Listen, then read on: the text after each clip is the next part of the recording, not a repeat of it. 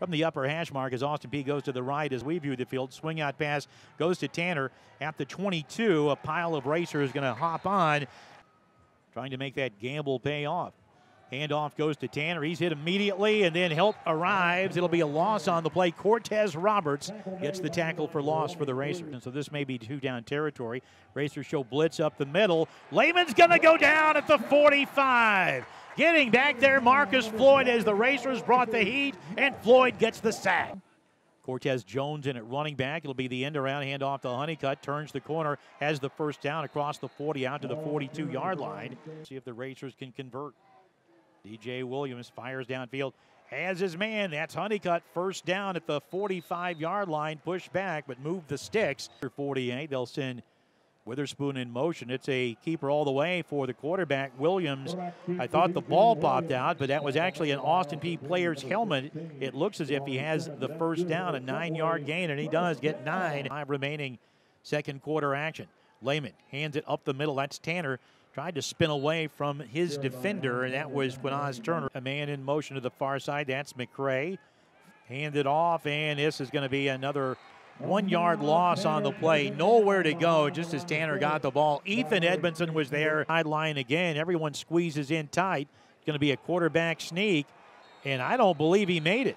He did not, Neil. I'm sitting. I got a pretty good standpoint here, right on the 50, and there was no movement across the uh, across midfield. That is a turnover on downs. Witherspoon in at running back. Two step drop. Williams flushed. Tucks runs. He's across the 30, 25, 20, 15, 10. He loses his footing inside the five and goes down at the three. Javon Young would get credited for the tackle. I don't know if he tripped him up or not, but it looked like he simply just lost his footing. Uh, we'll, we'll see they tripped him, Neil. We'll give him the benefit of the doubt. Of DJ Williams. Fires across the middle, and it is complete for the touchdown. Maybe not the prettiest, but it counts just the same as reaching to get it a little behind him. Jake Satoff, his first touchdown as a racer, and it's 19 to 6. Mark racers go to the right as we view the field. Williams calls his own number, scoots along the outside, has the first down beyond the 35, out of bounds at around the 38 yard line. Three to go here. Trips to the right side. Williams looks downfield, fires across the middle, caught by Brooks for the first down at the 41 yard line. Trips right. Three step drop. Williams fires, has Brooks open again, catches at the Austin Peay 41, and is able to be pushed down at the 37 yard line. Nashville to play Tennessee State. Twins left. Williams flushed out of the pocket, throws late, caught by Bell at the 35 yard line. Single wide out to the left. Williams fires, has his man at the 45 down to the 43 yard line. First touchdown pass of the season.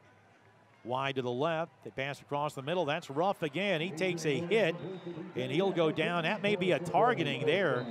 On their own 20 yard line. DJ Williams fires left side. It is caught. Satoff at the 25. Nothing at Eastern Illinois. Still nine minutes to go in that one. Williams fires across the middle. Good catch by Bell. Shakes his man. Is able to get an extra yard or two.